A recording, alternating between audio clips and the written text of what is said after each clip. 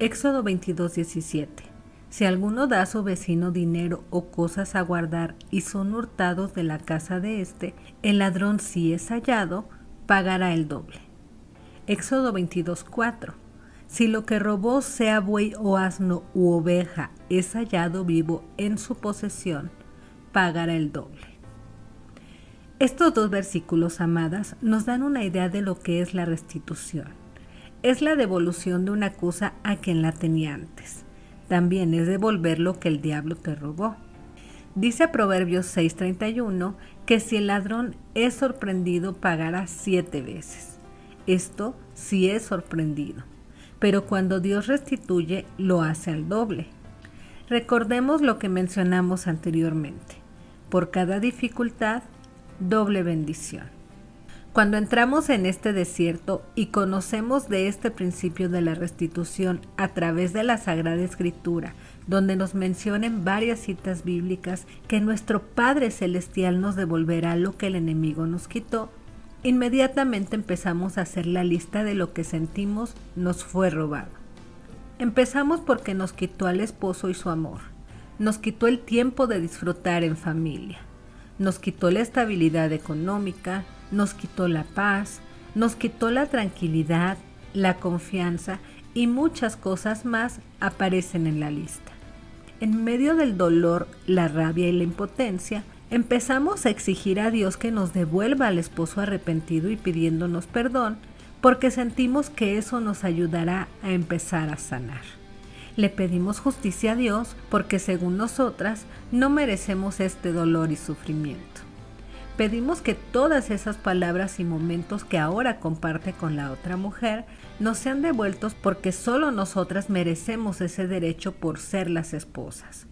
Le pedimos al Señor que cierre el vientre de esa mujer, que interfiera en la sexualidad de nuestro esposo con esa mujer extraña, que el dinero no le alcance para gastarlo en ella que se le dañe el auto para que no la lleve a ella, que le vaya mal con ella.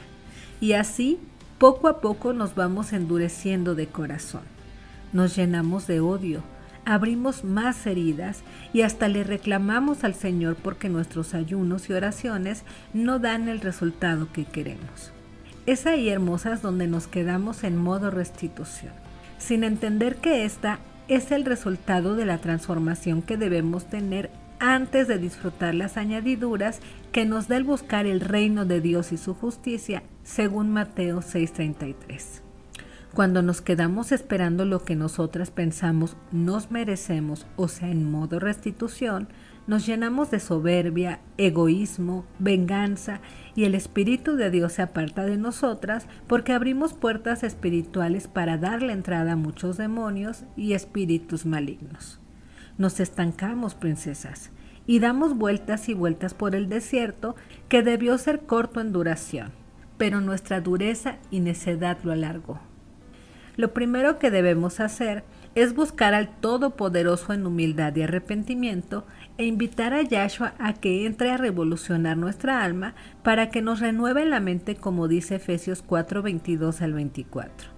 Despojaos del viejo hombre que está viciado conforme a los deseos engañosos, y renovaos en el espíritu de vuestra mente, y vestíos del nuevo hombre, creado según Dios en la justicia y santidad de la verdad. Amadas, entendamos que primero es recibir al Señor y después será la restitución. Y recibirle es mostrar los frutos de su espíritu en nosotras.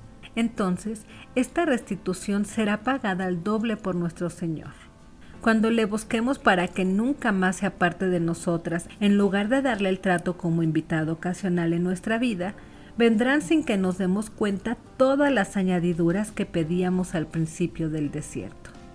Suelta el modo restitución, mi querida hermana, y vive el proceso conforme al propósito de Dios. Ten la seguridad que llegará el día de tu doble paga.